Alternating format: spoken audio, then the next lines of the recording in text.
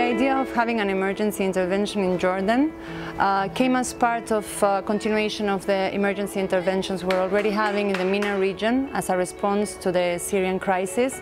Uh, when we started working, we were not the first comers. SOS was coming after many of other actors were already in place, and that gives us an opportunity of analyzing what needs have already been met and which were the gaps that we really needed to work on.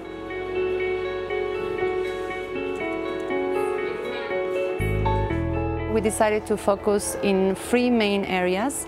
First of all, education, with a specific focus in girls, as they were the ones that were suffering more from being out of school.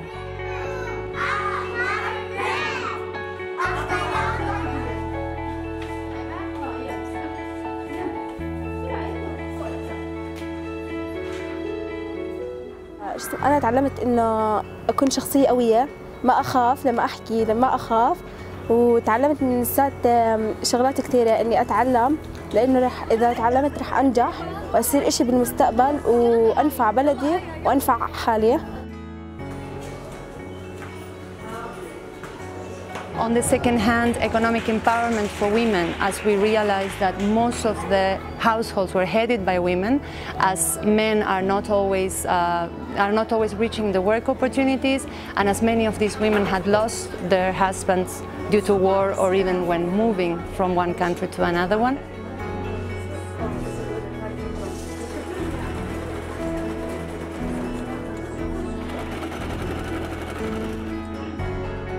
آه الآن هم بيتعلموا مهنة الخياطة والتطريز حرف يدوية.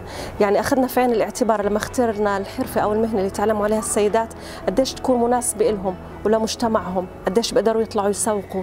قديش بيقدروا يتعاملوا مع الناس؟ قديش بيقدروا يتركوا البيت في ظروفهم؟ يعني تعلمت إنه هلأ الخياطه تعلمت الكروشيه التطريز هلأ أنا إنه لقدام يعني عم فكر إنه أفتح ورشة بالبيت نفسه يعني. ورشة خياطة. تعرفنا يعني على ناس جداد وصرنا هيك زي اسره واحدة خوات يعني كل واحد بتساعد الثاني فينا فحلو يعني This is why we are targeting Jordanian and Syrian. It's merging both.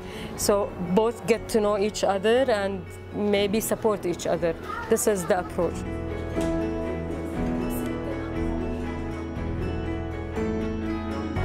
And the third uh, aspect we focused was on mental health and psychosocial support. Basically what we do is to evaluate the case, provide them with the needed psychosocial support in particular, um, and then we set a plan. This support might range from group sessions, from one-to-one -one therapy, from referral from the most severe cases to psychiatrists or, or doctors.